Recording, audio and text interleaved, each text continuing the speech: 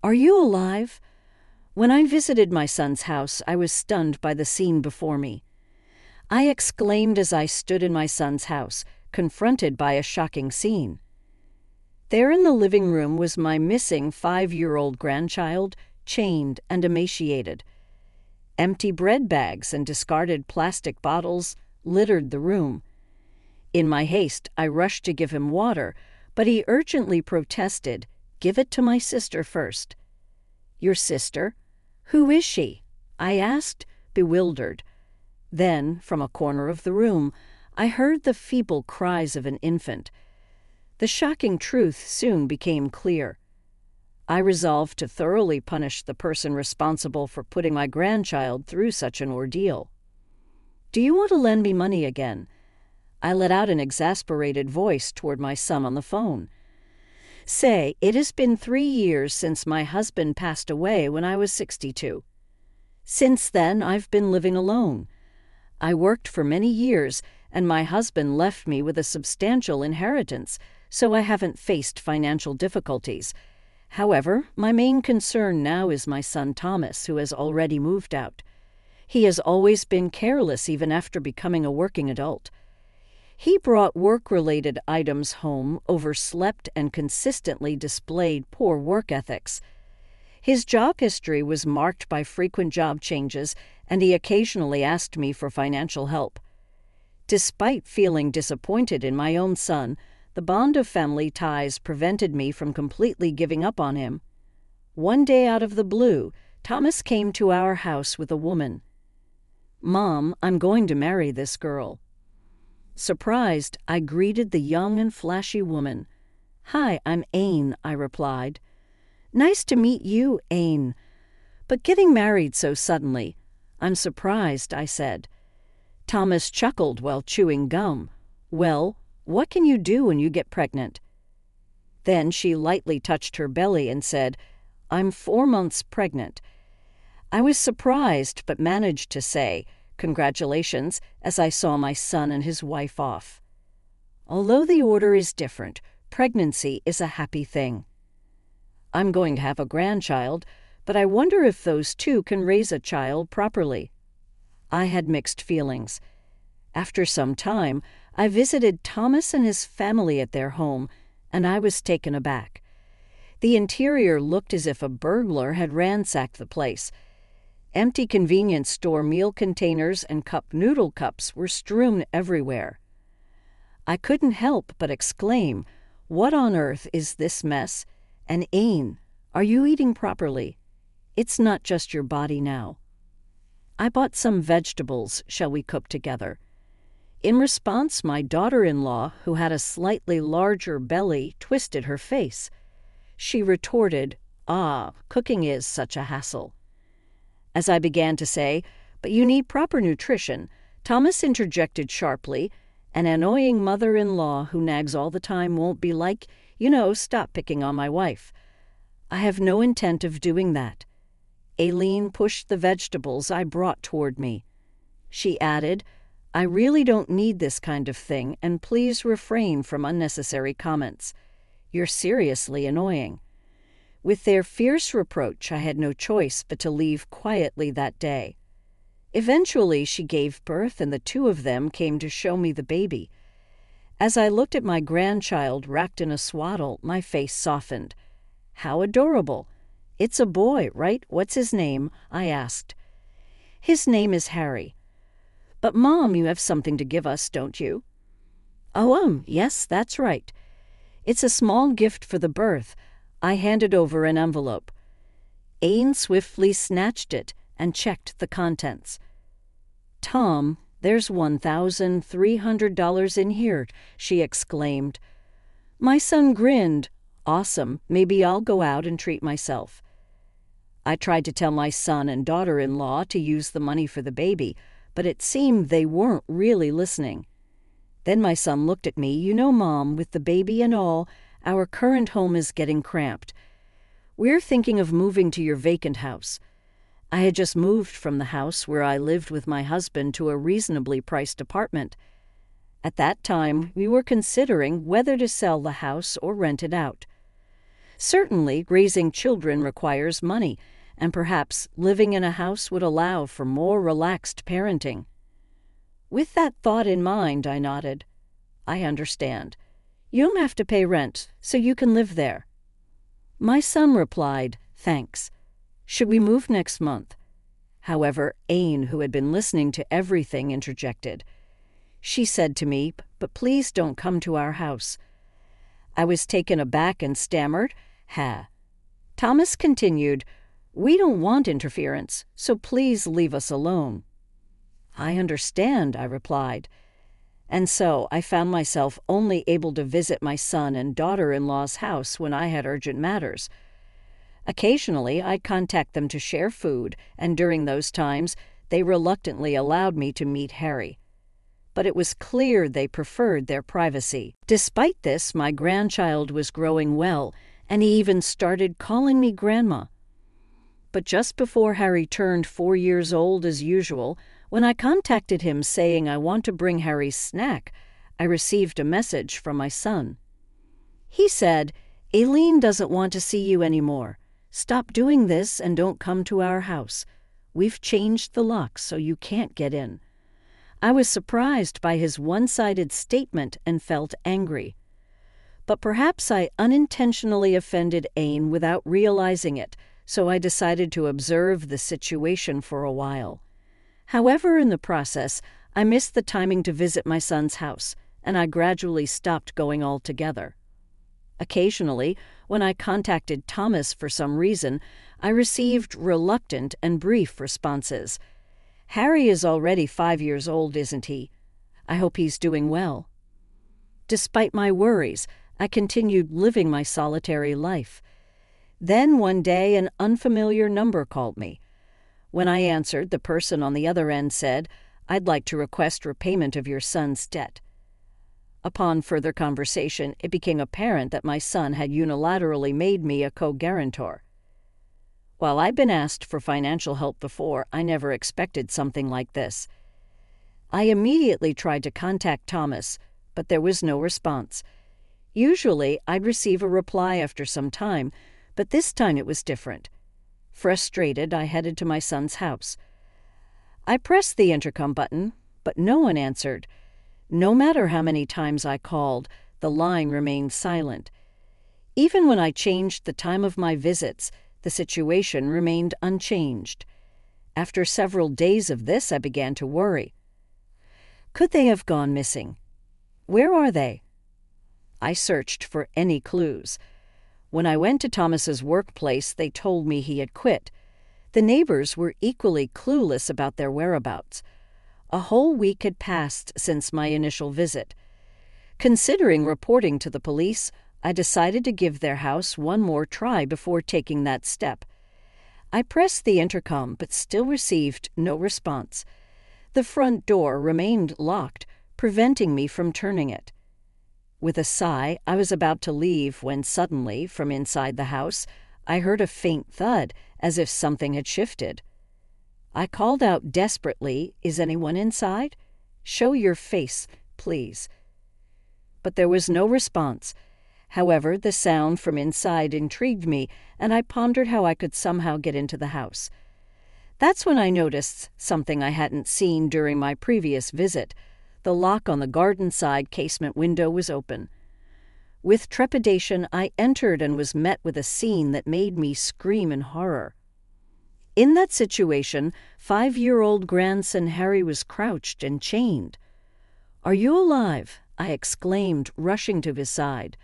The room reeked of decay, and around Harry lay empty bread bags and scattered plastic bottles. He whispered, Grandma, did you come to rescue me? What on earth is happening here? First, let's get you some water. I hurriedly fetched water, attempting to pass it to Harry, still bound by the chain. But then he cried out, Give it to my sister first. Your sister? Who's your sister? In the next moment, I heard a feeble cry from the corner of the room, and as I turned my gaze in that direction, I accidentally dropped the cup I was holding. To my astonishment, there lay an about three month old baby. The shock of discovering this infant's existence overwhelmed me more than the distressing sight of my grandson, Harry. Both Harry and the baby appeared weakened. Desperate to help, I unfastened Harry's chain, placed him and the baby in the car, and rushed to the hospital. The examination results indicated that both individuals are suffering from malnutrition. When the doctor asked, May I inquire about the circumstances? I was unable to respond because I hadn't been involved with my son and daughter in law for some time. Harry and the baby are scheduled to be hospitalized for a few days, and subsequently, the police arrived after receiving a report from the hospital. When questioned by the police, I honestly conveyed that my son and daughter in law were missing. Harry, who was receiving intravenous fluids, was also asked various questions but he appeared too frightened to say anything. After the police left, I approached my visibly calmer grandchild and asked, Where are mom and dad? They said they were going abroad. They packed their big bags and left. Harry began to speak in fragments about the situation. Mimi, my granddaughter, was born about four months ago. I was told we'll keep you tethered to the care of your sister so you won't escape before leaving on a trip. Even if the doorbell rings, I was told not to answer. As I stood there frozen and covering my mouth, my grandchild burst into tears. Mimi had learned to roll over, and during one of Harry's naps, she managed to venture out of his reach. My trembling grandchild confessed, I didn't know what to do and I was so scared. I held him tightly as tears streamed down his face. Once I confirmed that Harry was asleep, I returned to the house where my son's family lived, intending to retrieve their belongings. At that moment, I still harbored a desire to believe in Thomas and his wife. Did they really go abroad, leaving the children behind? It couldn't be true, surely. As I packed the grandchildren's change of clothes into a bag and prepared to leave, my eyes were drawn to a travel brochure placed on the table. The cover bore the words, Elegant Two Week Overseas Cruise, and trembling, I picked it up and from within its pages slipped a single sheet of paper meticulously detailing the travel plans for just the two of us. The congratulations on surviving childbirth trip. Incredibly, there were words saying the funding source borrowed money with an old hag as a co guarantor.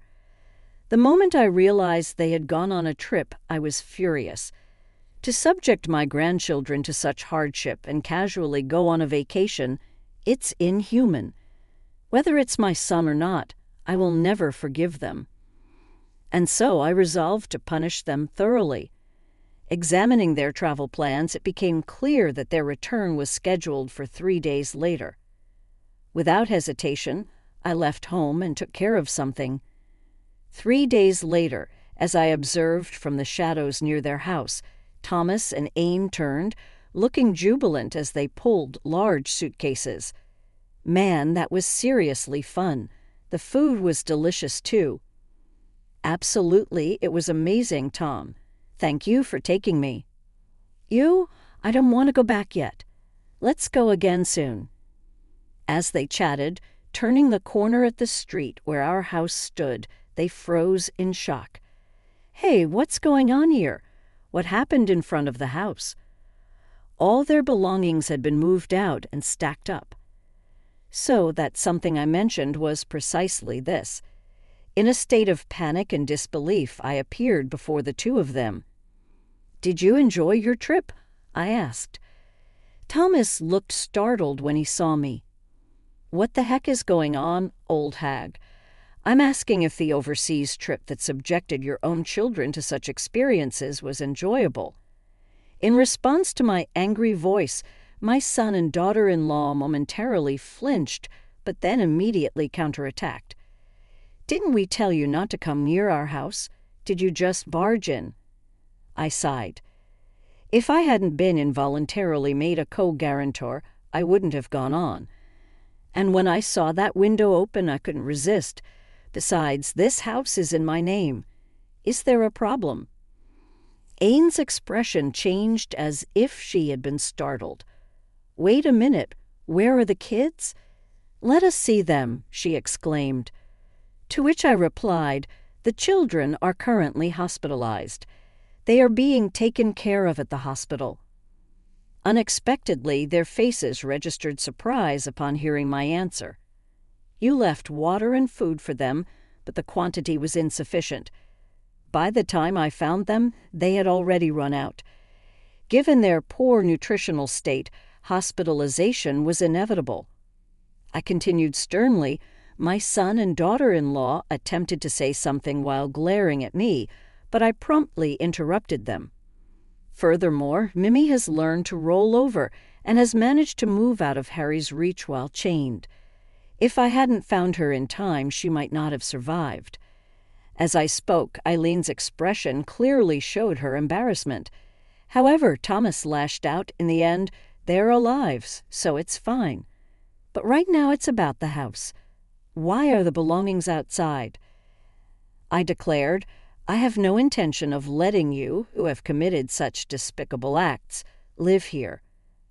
I've decided to put this house up for sale, so please leave. Upon hearing this, my son and daughter in law were shocked and began berating me. Don't be ridiculous, old hag. Such tyranny won't be at. Exactly enough already. Return the house and the kids. At that moment, I looked directly at my son and said, Thomas, it seems I've made mistakes in raising you. You can't hold down a job. You've burdened your parents as a loan guarantor, and now this. It's truly pathetic. I no longer see you as my son. Thomas, who had fallen silent, glanced sideways. This time I turned toward his wife, Ain. Do you realize how vulnerable those children were? Having five year old Harry to take care of your baby, what are you thinking? After subjecting those kids to such trauma, you have no right to call yourselves parents. The couple was rendered speechless by the scathing words. However, my son erupted in blind fury. I don't care. Let us in. This is my home. Well, even if there is a home, you won't be able to return for a while, I replied coolly. Just then, in unison, the son and daughter in law exclaimed, What? At that very moment, the distant wail of a police siren drew closer. Did you report us? If so, they've already done it. When your kids were taken to the hospital, the police instructed me to notify them when you returned. So I took care of it earlier, I said matter of factly without changing my expression. I watched as my daughter in law's face turned pale, and she began to tremble. Tom, what should we do? Are we going to get arrested? I can't bear the thought of dealing with the police, she said. At that moment, Thomas cheerfully clung to me. Mom, please smooth things over for us. Convince them we're innocent. I promise we'll do better from now on, please. Ain, her face streaked with tears and mucus, chimed in, Please, I beg you. And so I made my decision resolute and unwavering. I won't forgive you. Today I sever all family ties. What you've done to your children is an undeniable crime. Reflect on it and make amends. The son and daughter in law slumped in their seats, muttering. But just then a police car arrived, and I watched with a cold detachment as they were led away. Afterward, Thomas and Ain were interrogated by the police and found guilty. They were detained for a long time, and although they were eventually released, they had no home to return to. I took legal action and obtained custody of my two grandchildren. Despite opposition from my son and daughter in law, their behavior was called into question, and ultimately I prevailed. Currently, they have moved far away and are living in a precarious, rundown apartment. Given the news coverage of this incident, it's unlikely they'll find stable employment in the future. Nevertheless, I harbor no sympathy for them. On the other hand, I am wholeheartedly raising my two grandchildren. Harry helps with household chores, and Mimi has started talking and is in her adorable phase. It's a busy life, but thanks to my grandchildren, every day feels fulfilling. I'll continue to take care of my health and do my best for these precious grandchildren. How did you find this story? If you enjoyed it, consider subscribing to our channel. Until next time, in our next video.